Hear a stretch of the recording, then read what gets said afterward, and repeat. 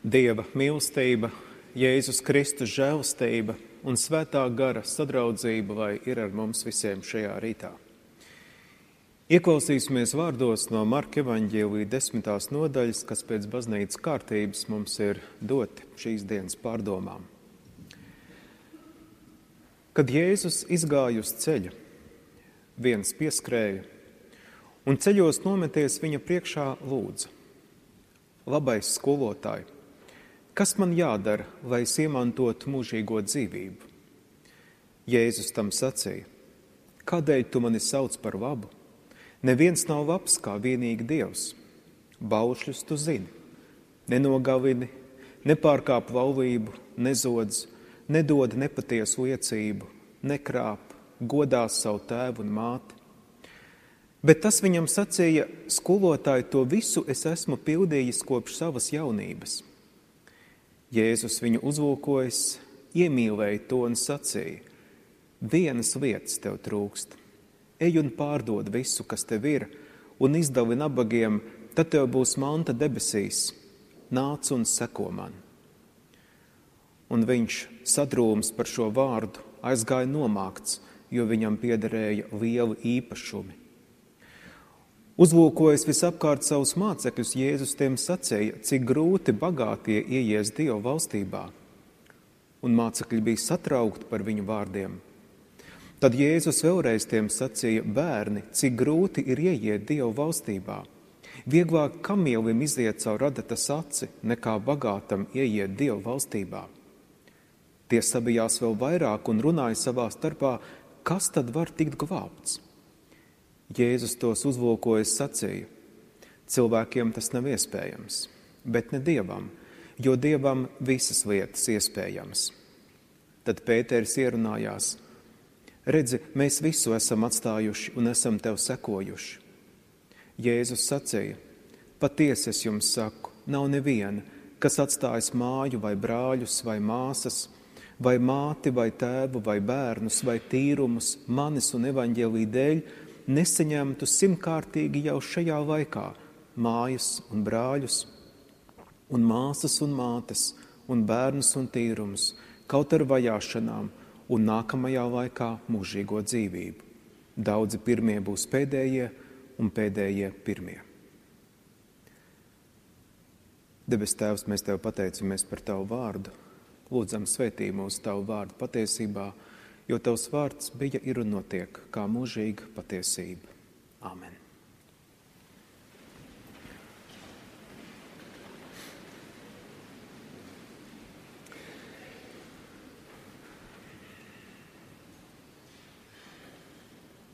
Steidzīgais jaunais cilvēks.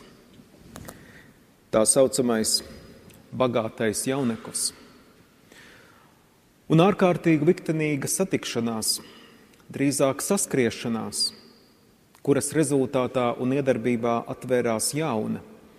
Ne tikai lapuse, bet jauns stāvs šī līdz šim jaunā, bet kopš šīs satikšanās jau savu ceļu uz briedumu sākušajā cilvēkā.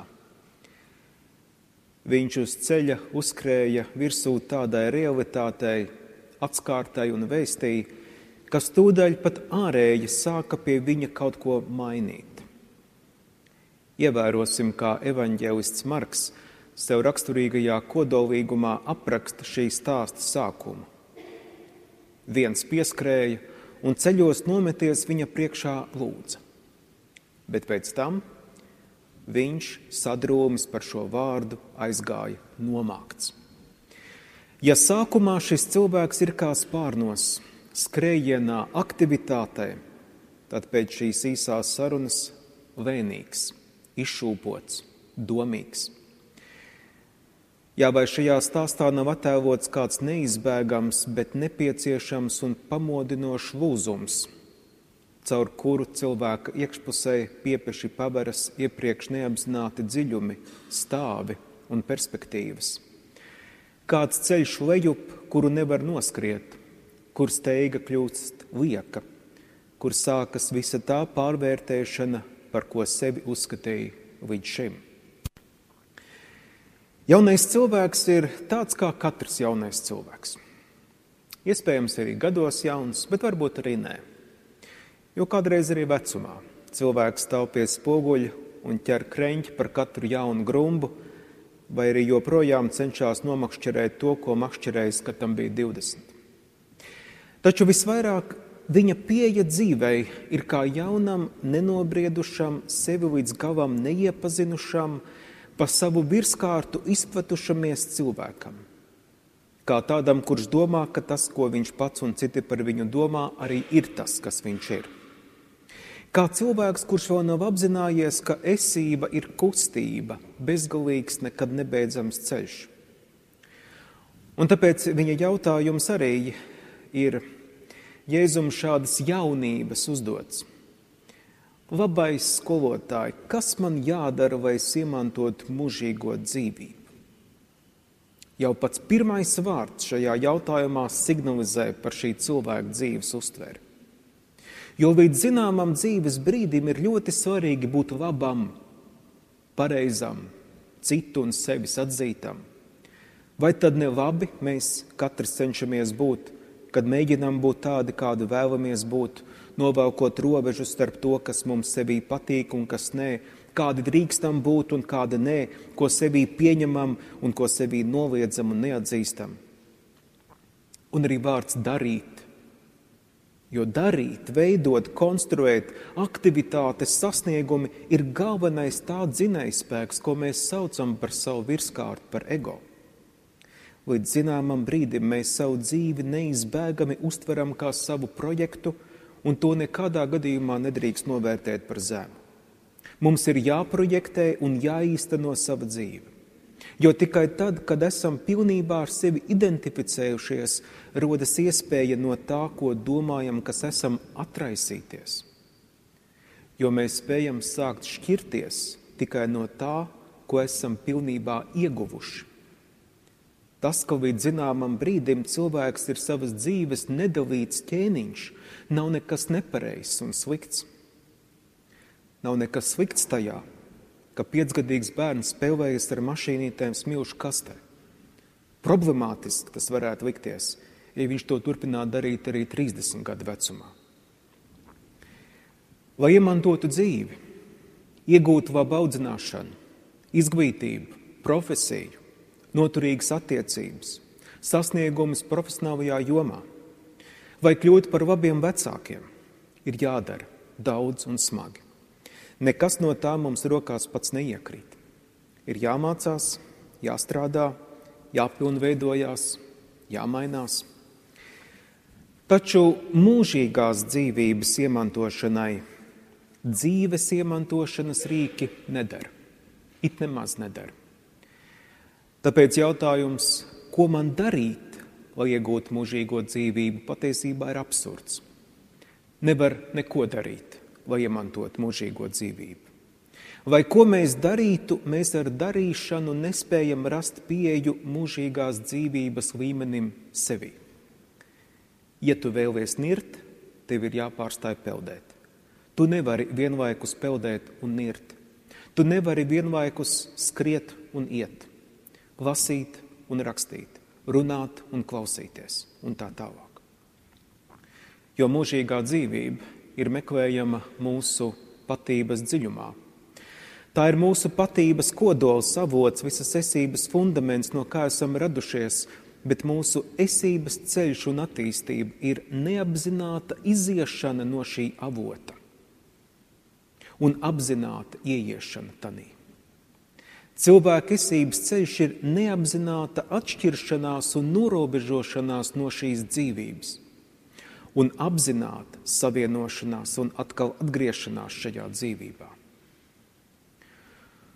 Un mūžīgās dzīvības iegūšana, apzinātās savienošanās un atkal atgriešanās tajā, kas mēs esam patiesībā, sākās tad, kad mūsu personīgā izjūta par sevi, mūsu ego apziņa sasniedz savas virsotnes, vai arī atsitas pret kaut ko tādu, kas uz visiem laikiem maina mūsu esības trajektoriju. Dažam tas var būt kāds iekšējs process vairāk, kuru katalizē kāds sīks atgadījums, kas atver acis uz sevi. Dažam tās var būt kādas personiskās dzīves traģēdijas, kas izkustina visas drošības konstrukcijas, bet dažam, ja viņš ir veiksmīgi no tā iepriekšējā viss izvairījies, tā ir tad vairs tikai nāve, no kuras izvairīties nevar neviens. Jā, tā ir, ka daudziem tikai mirstot sākas iziešana no ego un ieiešana savā patiesajā es. Bet Jēzus saruna ar jauno cilvēku Marka evaņģēlijā mums atgādina, ka varbūt tomēr nevajag gaidīt līdz nāvei, lai sāktu ceļu, kurš ir mums blakus vienmēr un gatavs mūs vest, kad vien esam gatavi iet. Mēs piedarām Dievam un mēs esam Dievā. Taču līdz zināmam brīdim tas mums paliek apslēpts. Jo līdz savas dzīves viduspunktam mēs skrūvējam kopā sevi kā tādu IKEA mēbeli. Mēs esam pilnībā pievērsušies šim darbam, ko, protams, ne visu paveicam mēs paši, bet tomēr par ko mums ir jāuzņemās pilnīga atbildība. Man pašam šī procesa apraksts šķiet tūs, to aprakstot ar tādiem tā saucamajiem četru duālismu tēliem. Par to arī runā daudzi psihologi un cilvēku apziņas attīstības pētnieki. Jā, no kā tad, tā teikt, sastāv šis jaunais cilvēks, kas pieskrien uz ceļa pie Jēzus? Nu, kā viņš sastāv? Kas ir viņa iekšējā ikejā mēbele? Mūsu esības ceļš un atvēršanās sākas ar tā izveidošanos, kura uzdevums ir atvērties, proti mūsu katra ego. Tā izveidošanās nav ātrs process. Tas notiek lēnām, iespējams mūsu dzīves pirmajos divos vai divu ar pus gadu desmitos. Pirmā norobežošanās no savas īstās patības notiek mūsu pirmajā dzīves gadā, kad tiek novilkta robeža starp to, kas mēs esam un to, kas mēs neesam tas kļūst vienā brīdī pusmīnus skaidrs. Mēs apzināmies sevi telpā. Otrā robeža jau mazliet vēlāk, bet joprojām bērnībā tiek novilkta laikā starp dzīvi un nāvi. Kad mēs apzināmies sevi kā mirstīgus, un tad dzimst bailes no nāves un izveidojās tās mūsu fundamentālās izdzīvošanas struktūras un stratēģijas un taktikas, pie kurām mūsu ego turēsies līdz pēdējam elpas vilcienam. Trešā robeža izveidojas agrīnos pusauģu gados. Vienkāršot sakot, tad, kad mēs sākam kritiski skatīties uz savu ķermeni, kad mēs sakām, man nepatīk tās pumpas sejā, man nepatīk, kāds es izskatos, man vajag tur kaut ko labot, kaut, kur, kaut ko mazliet pagrozīt. Mūsu prātu un ķermeni sāk atdalīt kādu robežu. Un daudz pie šīs robežas pavada visu mūžu un iegūda visu savu spēku un naudu, ņemoties ar šo nepatiku un savu ķermeņa kriticismu, vai tieši otrādi apjūsmošanu un uzlabošanu par vēl labāku. Un visbeidzot, mūsu ego izveidošanās noslēdzas kaut kur ap 20 vai mazliet pēc, kad mēs jau visnotaļ apzināti iztumjam no sevis visu to, kas mums nepatīk, kāda mēs esam, kas nav mums pieņemams, Un Kārva Gustavu Junga vārdiem runājot, izveidojas robeža starp mūsu ego un mūsu ēnu. To mūsu personības daļu, kuru mēs nedrīkstam rādīt citiem, kuru citi nedrīkst redzēt, jo, ja tas tā notiks, tad mēs izgāzīsimies, zaudēsim godu un seju, jo būs iznācis gaismā viss, kas mums šķiet mūsinošs un netīrs, tas, kas nekādā ziņā mēs negribētu būt un nekad nebūsim. Un tā darbiņš padarīts. Mēbelīte ir gatava. Skrūvītes turās labi, durtiņas verās, un tā visa bandūra stabili stāv uz grīdas. Baušas mēs zinām, nenogalini, nepārkāp valvību, nezodz, nedod nepatiesu liecību, nekrāp, godā savu tēvu un māti. Un tam tā kādu laiku ir jākalpo un jāfunkcionē. To mēs piepildam ar saturu, laika gaitā šo to pielabojam, pieslīpējam, nomainām kādu ieplīsušu stikliņu, nokvīdušu plauktu turētāju, jo rezerves daļas jebkuram ego šajā pasaulē pietiek. Taču gandrīz visiem nezināms, ir palicis fakts, ka ar to mūsu attīstība nebūtu nav beigusies. Patiesībā tā tikai sākas. Vienkārši tās mērogi ir tik lieli, ka mums, mēs paši sev liekamies tikpat nekustīgi kā zvaigznes debesīs. Un tomēr viņas kustas. Jo kamēr mēs neapzināmies savas esības atskaites punktu, mēs liekamies sev nekustīgi un pabeigti, kā tā dikajā mēbele pie sienas. Un tad kaut kas notiek. Tas palīdz mums atvērt, ka mēs neesam šī mēbele. Mēs kaut ko sākam nojaust par mūsu patieso atskaites punktu. Jaunajam cilvēkam evaņģēlijā šis kaut kas bija saskriešanās ar Jēzu uz ceļa. Varbūt tieši tas ir jebkuras mūsu saskriešanās ar Jēzu uzdevums un jēga. Ko līdz mums saskrieties ar Jēzu, ja paliekam akli iepratīt tam, par ko sāka domāt jaunais cilvēks evaņģēlijā?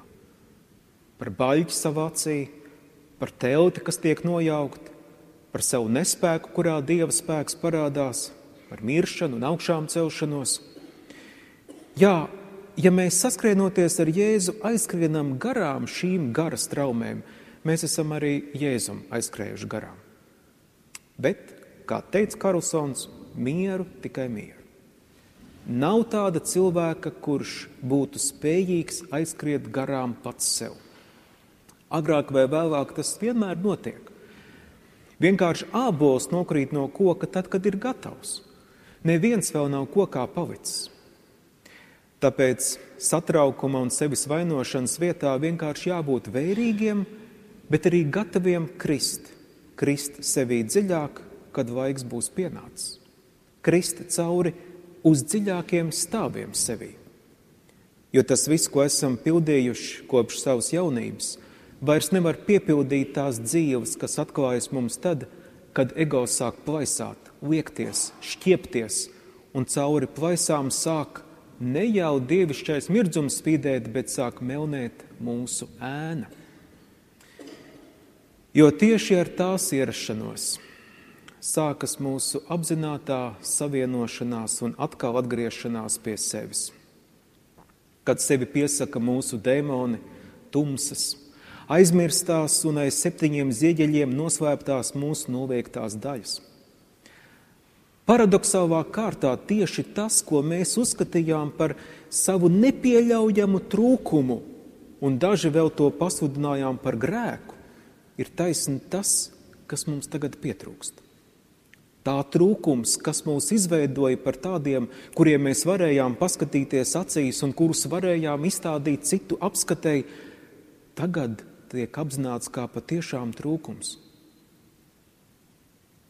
Tas, kas mums likās, mums trūkst, un tāpēc to ir jāpiepild tūdaļ, lai to neviens neredz. Tieši tas tagad kļūst par to, kas mums patiešām trūkst. Tas, kas šķita mūsu bagātība, izrādās ir ilūzija, kas izaugusi no tā, ko mēs uzskatījām par savu trūkumu. Mūsu bagātība ir bijusi vien reakcija uz trūkumu. Bet tāda bagātība, man šķiet, ir niekvērta. Jēzus uzdrošinos fantazēt, sadzird šī jaunā cilvēka varbūt vēl viņam pašam līdz galam neapzināto izmisumu. Viss man ir, visu esmu darījis, bet ko tālāk. Bet tālāk sākas beidzot pats svarīgākais, pats būtiskākais.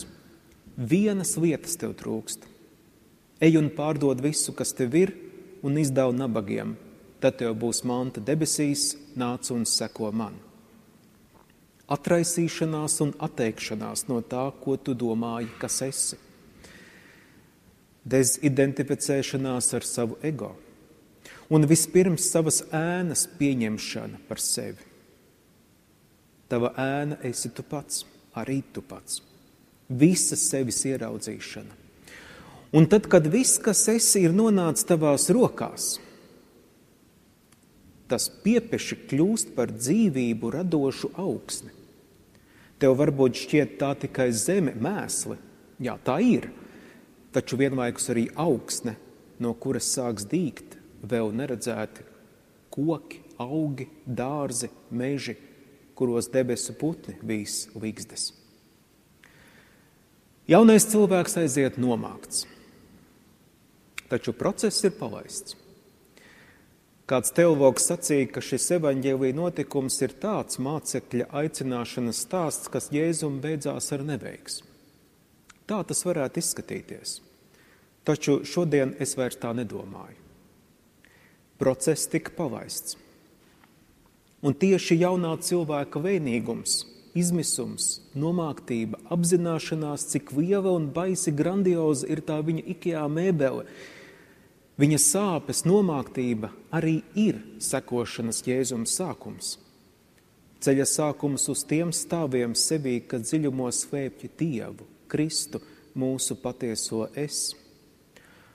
Un ka viņš gāja nevis panikā skrēja, tā ir laba zīme, jo viņā bija kaut kas, kas ļāva viņam lēnām iet, kāds miers, varbūt pirmais smalkais, nesarojamais pavadieniņš ar to mieru, kas Dievā tur šī cilvēka centrā, kodolā, bezgalībā un mūžībā. Jēzus mācekļi tajā visā skatās kā nesaprotamā šovā. Bet Jēzus neatstāja viņus neziņā. Viņš runā to, ko vēlāk viņi atcerēsies un pierakstīs. Viņš saka to, kas vēlāk kļūs arī par visu viņu pieredzi un ceļu, jo neviens nevar no šīs pieredzes izbēgt. Tā vienkārši nāk tev pretī pa ceļu, sāpīga, mūsinoša, tumša, nomāktības pilna, sastapšanās ar savu ēnu, un tās esības aktivizēšanās, kas ir mūsos dziļāk par virskārtu. Tās esības, kas mēs esam kā dvēseles, mūžīgas būtības, Dieva bērni. Mieru, tikai mieru. Mēs esam bezgalīgā ceļā, kurā mēs veramies vaļā raisāmies, mostamies, ceļamies. Vai kas notiktu virskārtā, tas notiek tikai virskārtā. Paturēsim prātā arī dziļumus. Un tieši saite ar to, kas dziļumā, ar mūsu būtības pamatu, ar Dievu, šī saite palīdzēs mums, cik nu vien tas ir iespējams, izmantot virskārtu vai nokļūt dziļumos, Dievu valstībā, mūžīgā dzīvībā. Un vienā brīdī esam izaudzis lielāks par ikijā mēbeli, kurā ievīds domāja, ka tā ir visa pasaule. Lielāks pat par savu gaišo un arī tumšo pusi. Jo esmu iemācījies mācīties ne tikai no gaismas, bet arī no tumsas. Es domāju, ka esmu kamielis, bet izrādās adatiņa. Un arī tā ir tikai tāpēc, lai rastos kāds musturs, kāds audums, kaut kas, ko pat adatiņa vēl nemaz nespēja aptvert. Āmen!